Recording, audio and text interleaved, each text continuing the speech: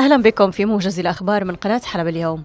مجهولون يطعنون الناشط أبو بكر خضرة خمسة طعنات على خلفية مشاركته في مظاهرة بمدينة إدلب تدخلت فيها أمنية تحرير الشام وفصلت عنه صوت الإذاعة أثناء حديثه عن سلاح الفصائل المنهوب.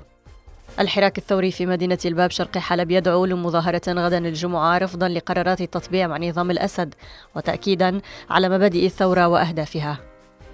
الميليشيات الإيرانية المتمركزة على أطراف مدينة الميادين تستهدف بالصواريخ قاعدة حقل العمر النفطي التابعة للتحالف الدولي شرق دير الزور بحسب شبكة دير الزور 24 المحلية. عناصر اللواء الثامن التابع لشعبة المخابرات العسكرية في نظام الأسد يقتحمون بلدة المتاعية بريف درعا الشرقي ويعتقلون خمسة أشخاص وفق مراسل حلب اليوم في درعا. السفير الروسي لدى الأمم المتحدة يعلن استمرار التشاورات حول إمكانية تمديد آلية إدخال المساعدات الإنسانية عبر الحدود إلى شمال غرب سوريا.